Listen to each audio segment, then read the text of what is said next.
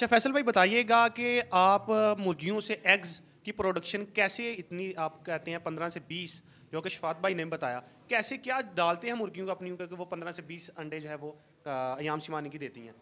जी शफात भाई भी मेरी बात की तइद करेंगे बल्कि उनका भी अब ज़ाती एक्सपीरियंस है।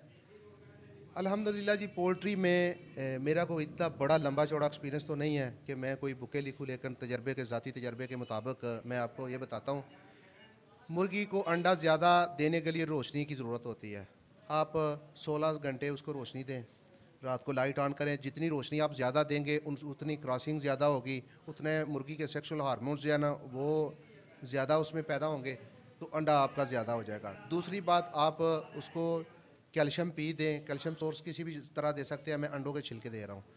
मैं चिप्स ज़ीरो दाना चिप्स जो आम फर्श में होती है मैं वो दे रहा हूँ। उसके साथ साथ अ, मैं दे रहा हूँ इनको मल्टी विटामिन दे रहा हूँ। मल्टी अब तो सर्दी है मैं तो अंडा बॉयल करके भी दे रहा हूँ। सर्दी के मौसम में अंडा बॉयल करके डायरेक्ट भी देता हूँ उसमें विटामिन भी होते हैं प्रोटीन भी होती है बहुत ज़्यादा। दूसरी बात आप मुर्गियों के घोंसले जो है ना नेक्स्ट अंडा देने के लिए वो अलग से बनाएँ। वो अलग से रखेंगे। अगर आपके पूरे केज में, पूरे पिंजरे में मुर्गी घूम रही होगी, कहीं भी बैठी अंडा दे रही होगी, वो अंडा दे रही होगी ना, दूसरी मुर्गी या मुर्गा उसको डिस्टर्ब करेगा। अलग से घोंसला बना होगा तो वो डिस्टर्ब कोई नहीं कर पाएगा। वो आराम से बैठ के अंडा देगी, उसकी अंडों की प्रोडक्शन जो है ना वो ज़्यादा हो जाएगी। तीसरी बात है, आप पकड़ दकड़ ना करें। ऐसे ही ना हो कि आप शेड में गए हुए हैं, उसको पकड़ रहे हैं, उसको पकड़ रहे हैं, कहाँ कहाँ हो रहा है, ऐसे नहीं होने दें। कोशिश करें कि उनको नॉर्मल इजी ऐसा माहौल दें कि वो आपके साथ बिल्कुल इजी रहें। बच्चों को कोशिश करें कि ना जाने दें। बच्चे क्योंकि उनको तंग करते हैं, बच्चे तंग करेंगे मुर्गी बैठी हुई अंडा दे रही होगी, उसको उठा देंगे। मुर्गियों के दड़बे में चूहों का गुजर नहीं होना चाहिए। अगर चूहे आते जाते रहे तो चूहा एक तो काट भी देता है, दूसरा अगर ना भी काटे तो चूहे के जाने से मुर्गी जो है ना स्ट्रेस में आ जाती है डिस्टर्ब हो जाती है। वो चूहे को न्योला समझती है और न्योला इसका जानी दुश्मन है। तो इस तरह बिल्लियों का जो है ना, वो गुज़र कम रखें। बिल्ली कम से कम सामने भी आके ना बैठी रहे। वो अंदर बेचारी स्ट्रेस में रहेगी और बिल्ली बाहर बैठी रहेगी। ऐसे भी जो है ना इस चीज़ों से बचाएँ। ये चार पाँच चीज़ें दें और अ, साथ अल्लाह से दुआ करें जी जो मेरा असल फार्मूला है। अल्लाह से दुआ करें कि या अल्लाह जो मेरे करने वाले काम थे वो मैंने कर दिए। अब तेरे करने वाला काम है तू बरकत देने वाला है तू बरकत दे। तो मेरा ख्याल है इंशाल्लाह अच्छी जो है प्रोडक्शन बाकी आप शफात भाई से पूछ लें। इनका भी माशाल्लाह ये मुझसे भी ज़्यादा एगलिंग ले रहे हैं। इसमें जो फैसल भाई ने एंड पे बात की है कि जो अल्लाह से दुआ करने वाली बात है, वो भी बात, वो सबसे पहली बात है। उसके बाद फैसल भाई ने ज़्यादातर बातें बता दी हैं।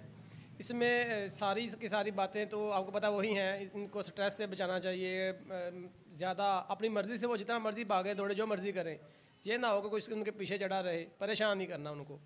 ऐसे हालात में रहते हैं रखना है जैसे में बर्ड्स खुश रहें। इसमें एक चीज़ जो है वो मेरी और फैसल भाई की जो डिफ़र कर रही है यहाँ पे, ये मल्टीविटामिन दे रहे हैं, या कैल्शियम के लिए कोई चीज़ दे रहे हैं। मैं कैल्शियम के लिए सिर्फ़ एग्स का छिलका देता हूँ, और इसके अलावा मैं अपने बर्ड्स को हल्दी और दही देता हूँ।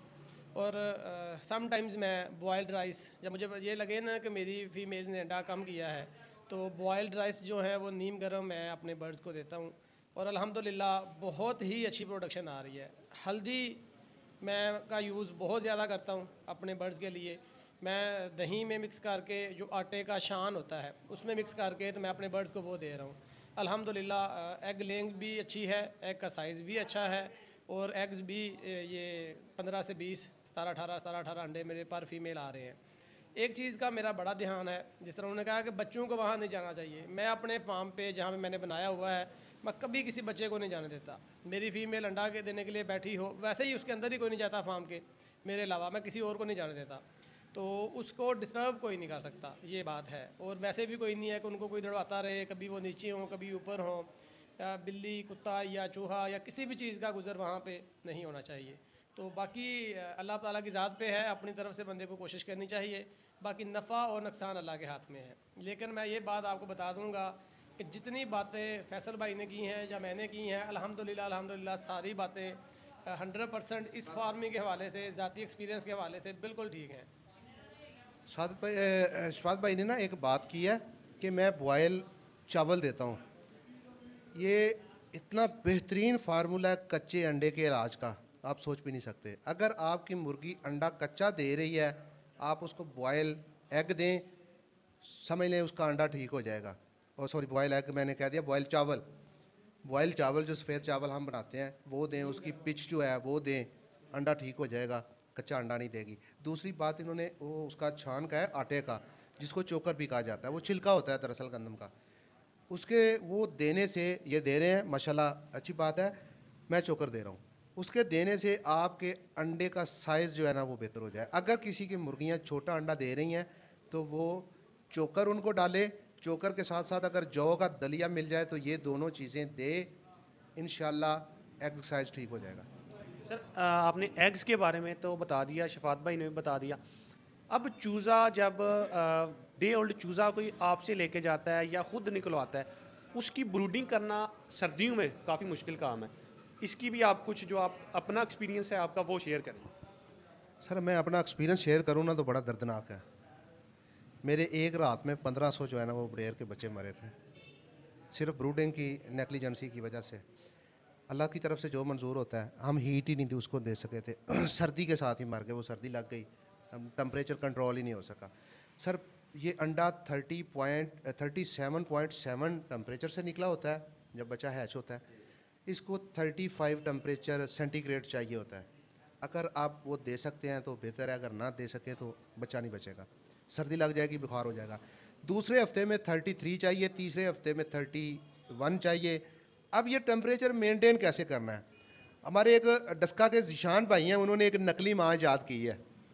वो बल्ब के नीचे लगाते हैं, मैं तो सबको रिकमेंड करूँगा जी, जिशान भाई से वो जो नकली माँ है ना, वो ले ले, वो ले ले। समझ ले समझ ले वो नकली मुर्गी उन्होंने तैयार कर लिया ये फ़ार्मिंग की दुनिया ब्रूडिंग की दुनिया में छोटे लेवल पे अगर कोई करना चाहता है तो मेरा ख्याल है जिशान भाई की तैयार करदा नकली माँ से बेहतर कोई नहीं है। उन्होंने ऐसे लाइटिंग की हुई है कि अगर जिस बच्चे को सर्दी लगती है, वो उसके नीचे आ जाता है, जिसको गर्मी लगती है, वो उसके नीचे से बाहर चला जाता है।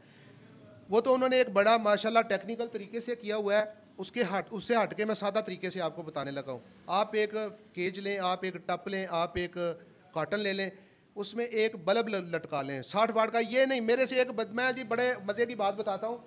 मुझसे एक लेके गए, उन्होंने उनको मैंने बताया कि इसके ऊपर आपने बल्ब लगाना है जी हीट सोर्स के लिए। उन्होंने जाके वो एनर्जी सेवर लगा दिया छोटा सा, उन्होंने कहा, जी, बल्ब तो सिर से लाया चूचे कट्ठे कट्ठे होंगे थे ऐसे नहीं करना, आपने पीले रंग का जो पुराना बल्ब था, आपने वो लेना है, वो लगाना है टम्परेचर उसको देना है। सबसे पहले तो आप एक डिवाइस कंट्रोलर मिलती है ऑटो टेम्परेचर कंट्रोलर वो लगाएँ, वो नहीं मिलती तो आप एक कोने में ऊपर उनके बल्ब लटका लें, तकरीबन एक बलिश्ते एक हाथ उनके ऊपर लगा लें, एक फुट नहीं करना चाहिए थोड़ा सा नीचा। जिस चूज़े को सर्दी लगेगी, वो नीचे आ जाएगा, जिसको गर्मी लगेगी, वो साइड पर चला जाएगा। आप उनका टेम्परेचर मेनटेन रखें, चूज़े भागे दौड़ेंगे, उनको दें खाने के लिए आज सर्दी हैं, अंडा दें, बहुत अच्छी चीज़ है, उनकी ग्रोथ अच्छी तरह तेज़ी से होगी। ग्राई वाटर अपने बच्चों को देते हैं, अपने बच्चों को दे, मैं जी कर रहा हूँ smart farming at home smart तरीके से घर में फ़ार्मिंग इसी नाम से मेरा यूट्यूब पे चैनल भी है। आप अगर मेरा यूट्यूब चैनल सब्सक्राइब करते हैं तो ये मेरे सारे तरीके वहाँ आपको मिल जाएँगे। अच्छा जी, आप ऐसे करें ग्राई वाटर दें बेडालिन एम मल्टी वटामिन है, वो दें। आप अपने बच्चों को, छोटे बच्चों को हल्दी पानी में शामिल करके दे सकते हैं। लहसन, प्याज, अदरक वाला, उनको अच्छी तरह वो कुंडी में कूट के उनका पानी निकाल के वो एक दिन दे सकते हैं, किसी वैक्सीन की भी ज़रूरत नहीं पड़ेगी अगर आप वो दे रहे हैं चीज़ें तो। ये इस तरह मुख्तलिफ़ हर हफ़्ते में कोई ना कोई चीज़ देते रहें, उनकी फ्लैशिंग करें, चीनी गुड़ वाला पानी दें, उनको हफ़्ते में एक बार लाजमी।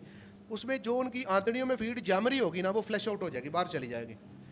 पीछे जो बीट पेस्टिंग का मामला आता है ना कि आपके चूज़ों के पीछे बीट चिपक गई है, वो मामला ख़त्म हो जाएगा। बाकी शफात भाई जो है ना, वो माशाल्लाह अच्छी ब्रूडिंग कर रहे हैं। इनसे अच्छी ब्रूडिंग मेरे मेरे से भी नहीं हुई। इतनी देर में जितने शॉर्ट टाइम में इन्होंने मुर्गियों से अंडे लिए ना यहाँ सिवानी के मुझसे भी नहीं लिए गए। मैं अच्छा, शफात भाई बताइएगा कि आपने आ, अंडे मेरे ख्याल में दस नौ दस अंडे लिए थे। नौ दस अंडों से आपने जितने चूज़े निकले वो सारे के सारे माशाल्लाह ब्रीडर बन चुके हैं। आपने कैसे किया? ये थोड़े टाइम में हमें थोड़ा सा मैंने ना मेरे पास एक पिंजरा है शायद वो वीडियो में दोस्तों ने देखा भी हो। उसके सिर्फ़ एक साइड में चालू वो सारा बंद है सामने उसके दरवाज़ा लगा हुआ है। मैंने उसके दरवाजे को कवर करके जाली का दरवाज़ा है उसके अंदर एक लाइट लगा दी हुई है पिंजरा है। मैंने वो आप बोरी से कार लें किसी कपड़े से कार लें अच्छी तरह से कवर करना है कि हीट बाहर ज़्यादा ना जाए। कवर करके तो मैंने उसके अंदर एक लाइट लगा दी थी जो साठ वाट का जो पीली रोशनी वाला बल्ब होता है वो। वो उसके नीचे मैंने, आप चावल का छिलका डाल लें, लकड़ी का बूरा डाल लें, चावल का छिलका डालना चाहिए, ज़रा ज़्यादा बेहतर है। लकड़ी का बूरा अगर ब्रीक होगा तो बच्चा खा भी लेता है, उससे भी मसला बनता है। उसके बाद मैं उनको नॉर्मल फ़ीड दे के तो साथ जिस तरह फैसल भाई ने बात की है एग बॉयल्ड एग की। मैं बॉयल्ड एग जो है, वो उनको रात को जब तीन चार दिन के बाद, पहले तो ये खाते ही नहीं है, चार पाँच दिन के हो जाए तो उसके बाद ये खाना शुरू कर देते हैं उसको। उसके बाद थोड़ा थोड़ा करके उनके आगे रखना ब्रेक करके, वो उनको मैंने रूटीन में दिया है। उसके बाद मेरी एक डिफरेंट रूटीन ये थी कि मैं इनको अजवाइन का कावा देता था।